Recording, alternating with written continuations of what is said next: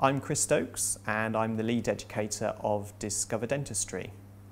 I got into dentistry through a careers day at school actually as a um, I was interested in a career that would be practical but also based in science and I was on a careers day, went into a room and there was a large table covered in dentures and dental appliances and I sort of gravitated towards it and started to talk to the person behind the table who ended up being the, um, the lead for a dental technology course. It was a BTEC diploma which still exists today and it got me really really interested in the idea that I could spend time doing something practical and making medical devices. Um, I went home, I started doing career exploration, which then was writing off for leaflets and information packs from dental societies. And I remember looking at leaflets covered in pictures of dental technicians working and, and explained what they did in the career pathways, and I thought, that is for me. I, so I enrolled on this BTEC and I spent three years studying dental technology, which had elements of how to make all the appliances, um, the dental materials, working in a dental team, all the bits and bobs.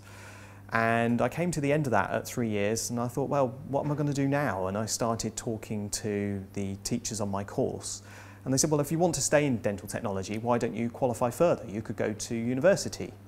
And this was a bit of a surprise to me because nobody in my family had been to university. I didn't know any dentists or other members of the dental team, only really who was on my course and who I'd done work placements with. So I started to explore my options and at the time there were two courses, one at Manchester and one at Sheffield and I ended up coming here to Sheffield to study a degree in dental technology.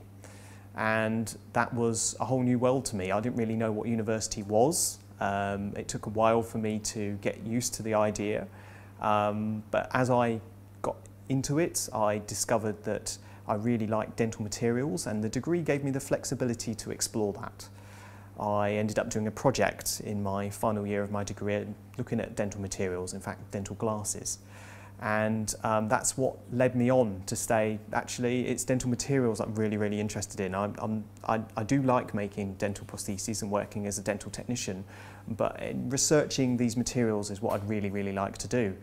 And university gave me that opportunity. I then went on to study a PhD um, here at Sheffield again in the Engineering Materials Department and spent three years researching dental ceramics. While I was doing my PhD, I also got interested in teaching. It happened almost by accident. I was demonstrating, as it's called. I was helping other under undergraduates do practical experiments and, and with their seminars. I was also going into schools and talking to school children about career pathways in dentistry and also in material science. And while I was doing this, I thought it would be a good idea maybe to get some help in, in being a better teacher. And I originally did a postgraduate certificate in education in order to um, get skilled up. And it was amazing to me. It was like somebody had lifted the curtain and it was behind the scenes of all the teaching that I'd previously, up to that point, just digested and taken at face value. I was now working out how it was constructed, how it was all put together, and, uh, and what made a good teaching session. When I finished my PhD, I was so enthralled with the education side of things, I actually ended up working for a few years on a project that looked at interprofessional education in dentistry, how we can teach dentists, dental technicians, dental nurses, all of the team to work together, how they can learn from each other to, to um, better provide care for the patient. When I finished my uh, original job in interprofessional learning, I became a teacher here at the School of Clinical Dentistry and I currently teach in materials, tooth morphology, dental technology. Um, but I'm also very much involved in delivery of education by distance learning. And this is where Discover Dentistry came from.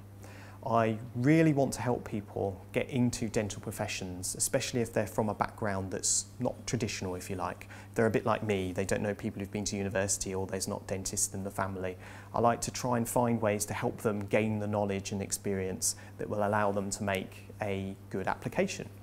So um, I work on schemes here at Sheffield to help local um, school students um, in, in, in applying for dental courses um, and Discover Dentistry as a way of broadening that out. And the idea was to make a course that if you were thinking about a dental career, you would be able to um, learn together with other people um, about how to do it. Now, Discover Dentistry provided a few surprises, I think, in that we put it on for aspiring dentists, but in fact it, it, it attracted a, much bigger bubble of people than that. We ended up with aspiring dentists, but we also ended up with dental professionals wanting to engage with the public, but also these people who wanted to study dentistry in the future. But also there were members of the public who wanted to talk about their dental experiences or wanted to learn more about the subject of dentistry. And when you put all these people together into the unique environment that is a MOOC, all learning together in a small compact period of time based on questions and videos that they've seen, it's an incredibly rich environment where people can learn about the profession but also ask and have uh, and questions answered um, about anything they really want to know. So if you're exploring a career in dentistry now, it's not about leaflets covered in, in little sort of cartoons showing you what the job might be. You've got the opportunity of going online, you can sort of tweet people and get responses, but you can also now do Discover Dentistry and uh, have this big conversation on an international platform that allows you to explore your career.